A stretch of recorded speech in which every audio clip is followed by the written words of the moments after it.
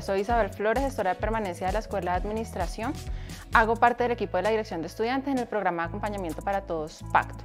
Puedes ponerte en contacto conmigo a través de mi correo electrónico isabel.flores.urrosario.edu.co o a través de mi número de WhatsApp 322-275-4893.